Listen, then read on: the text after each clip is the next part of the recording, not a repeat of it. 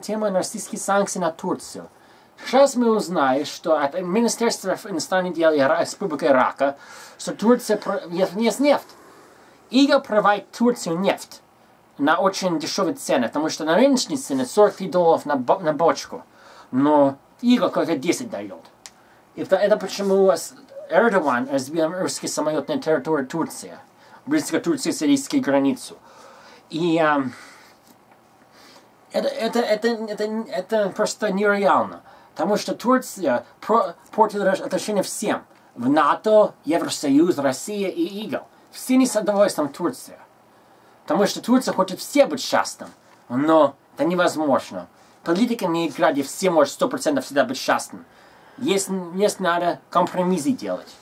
И Эрдоган хочет поставить отставку. И, и скажет, хорошо,